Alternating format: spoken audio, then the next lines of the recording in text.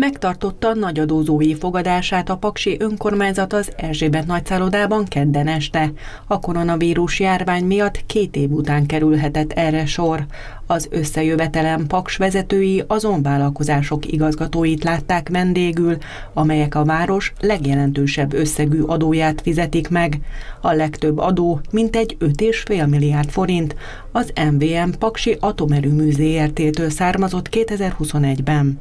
A Paksi Atomerőmű Paksváros legfontosabb cége. Azt hiszem majdnem minden család valamilyen szempontból eh, érdekelt a Paksi Atomerőműben, és abban, hogy ez az erőmű jól működjön és nagyon fontosnak tartjuk ezt egy úgynevezett kötelezettségvállalásnak, és tekintjük azt, hogy ebből a javakból részes, részesüljön a Paksváros is, az egész város. Az OTP Bank enyerté is az egyik legnagyobb adózónak számít a városban. Dobszai Zsolt, a bank Paksi fiókjának igazgatója azt mondta, a város kiemelt figyelmet élvez a pénzügyi intézmény életében.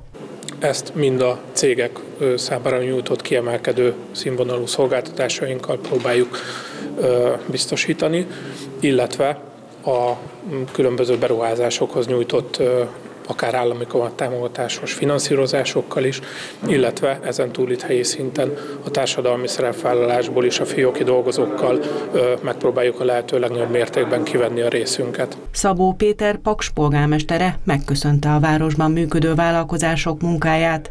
Úgy fogalmazott, ezen bevételek hozzájárultak Paks fejlődéséhez az ő adójuk által nagyon sok mindent meg tudunk valósítani a, a városban, tehát az adóbevételeink nek köszönhetően tényleg rengeteg beruházást, utcafelújítást, akár vagy az intézményeinknek a felújítását, itt gondolok óvodákra, a bölcsödére, az ottani felújításokat el tudjuk végezni, vagy a közintézményeinkre, kulturális intézményeinkre, múzeumra tudunk költeni, vagy a Csengédénes Kulturális Központra, a könyvtára, sorolhatnám még azokat a, azokat a beruházásainkat, vagy azokat a felújításainkat, amit ebből, ezekből az adóbevételekből tudunk megvalósítani. Szabó Péter hozzátette, bár a Paks 2 ZRT egy projektcég és még nem adózik a városnak, közvetett módon hozzájárult az adóbevételek növekedéséhez.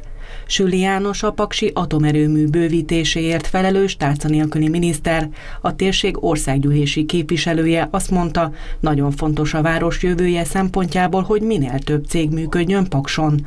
Az általuk befizetett adó hozzájárul az intézmények működtetéséhez, az elektromos tömegközlekedés fenntartásához, az utak felújításához, a parkolók járdák építéséhez.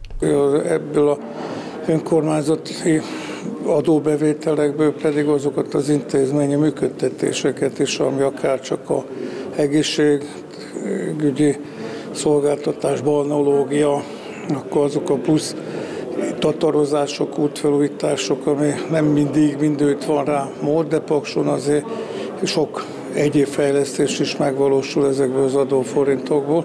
Ki körbenéz a városba, azért láthatja, hogy egyre más újulnak meg az utcák. Pakson mintegy 7 milliárd forint adót fizettek be a városban működő vállalkozások, ami a település költségvetéséből az összbevétel több mint 50 át tette ki.